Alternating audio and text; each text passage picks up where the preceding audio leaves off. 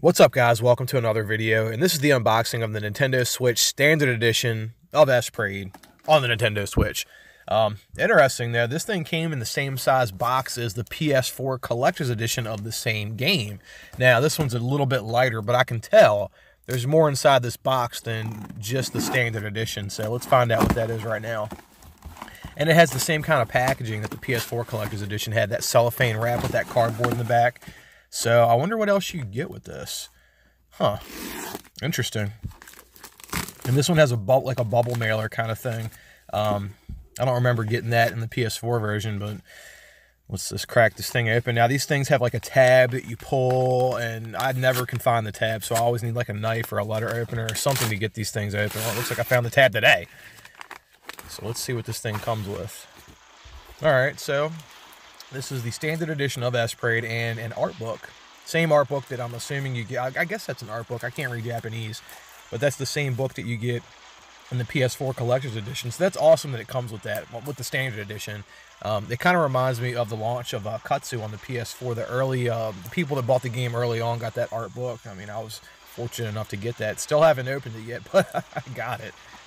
So let's crack this sucker open. And I always have such a time opening these Switch games. Um, I don't know, it's just the shape of the case. It's, it's like the cellophane doesn't want to come off for me. But um, same cover as the PS4 version, pretty much exactly the same. And we don't have a manual, but we have, I guess that's a how-to card. Doesn't really uh, work well for me since I can't read Japanese, but, you know, it's better than nothing. Better than just an empty case or better than, like, you know, some DLC and, you know, I accidentally show you guys the code or something, you know. Um, now you do get the reversible cover art just like in the PS4 version. I would hope that you would, but it's right there. And we're definitely going to flip that over because I know this game never had an official release back in the day, but that is original artwork that's on the front cover of this. At least that's the thumbnail that comes up when I play this through RetroArch, or through a MAME emulator. But um, yeah, Esprade, awesome game. I'm glad I got that cover switched out. And that's pretty much everything you get for the Nintendo Switch Standard Edition of Esprade. Okay, guys, so this is a game when it first came out. I bought all the other games this company put out except for this one. Why, I don't know, because this is one of the ones I wanted to play the most. But I missed out on it, and it took until now before I found a copy at a reasonable price. And this copy actually came brand new with the soundtrack, so I'm really excited about that. Um, even though I owned a burnt copy of this game, I just had to own the real deal just because I'm crazy like that. But you're going to see what it is in just a minute. This is a good one. This is a good shooter I've been wanting for a really, really, really long time. Now, it's an NG Dev Team game. It's not going to give it away just yet, but there it is. There it is. Neo Neo Zix or Neo XYX. Um, this was developed by the NG Dev Team. Now, they've, they've come up with some pretty good games. Fast Striker probably being my least favorite of the ones they've made. Uh, Gunlord's great. Uh, Neo XYX is uh, I, I would say I would compare it to like Batsugun or uh, I guess what Tatsujin. I don't know how you pronounce that, but it plays kind of like those games. Uh, this game is really hard. Uh, you can't change the difficulty, um, and it's really great. The graphics are great. The soundtrack is incredible. I'm really excited to have a soundtrack of this game. Um, although I don't feel like opening this just yet because I have a burnt copy, so I'm sorry to bum you guys out. I'm just gonna leave this sealed for right now. I'm just not ready to open it. Call me crazy, but She's going to stay sealed probably for a couple of months, but that's my copy of Neo XYX for the Sega Dreamcast. The last opening of a game that I'm going to do today is this game, River City Girls, which is a game that was kind of on my radar. And I only bought it because one of my local game stores sells limited run games. Um, and they sell them for the same price they do on the website, which is pretty cool. But is this one of those games that you can get at Best Buy? I know they carry a lot of their titles at Best Buy, so let me know in the comments. But I got this at a place called Just Press Play. It's in York, Pennsylvania. So I got this one, 40 bucks. So, um, yeah, this is like a beat 'em up. Um, I have not played this game a ton at this point. I have played it a little.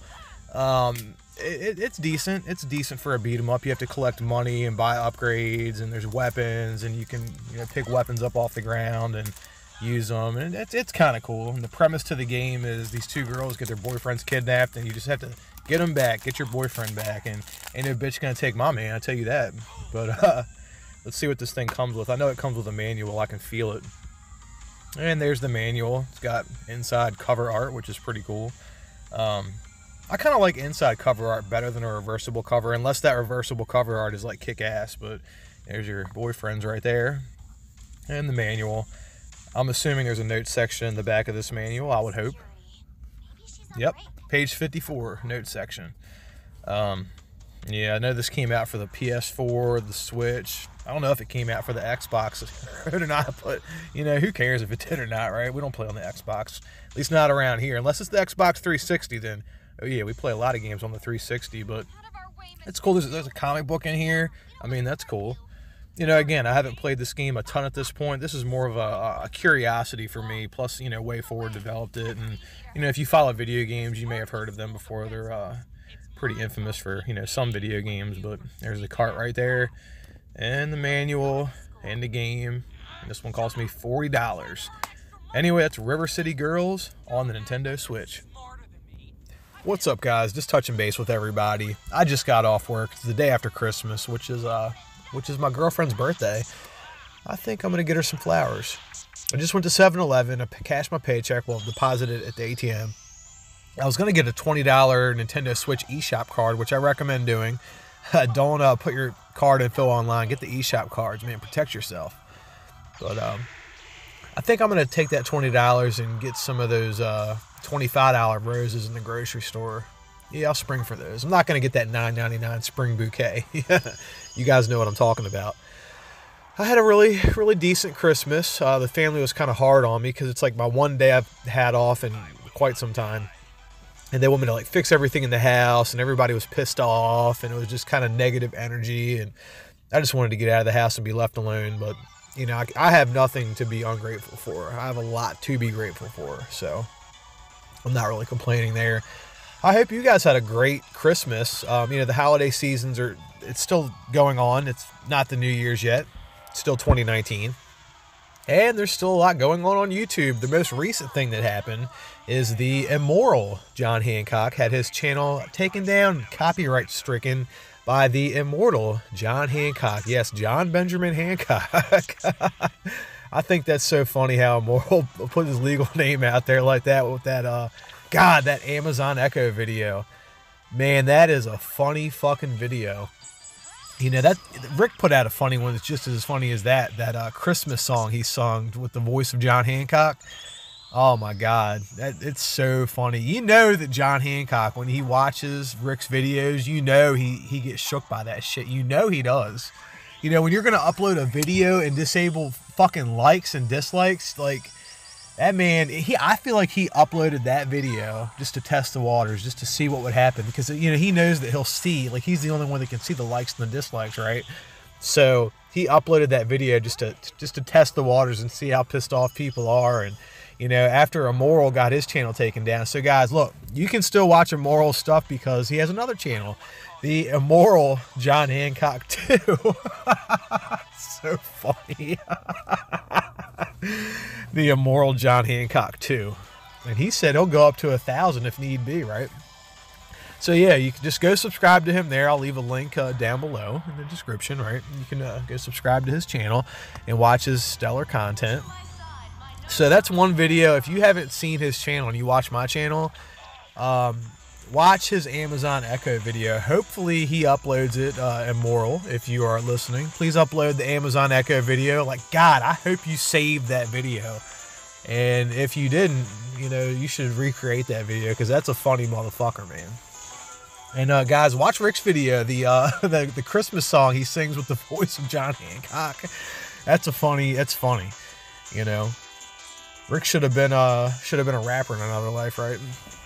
But uh, anyway, let's go into 2020 strong, guys. You know, I'm, we're still seeing a lot of great changes on YouTube.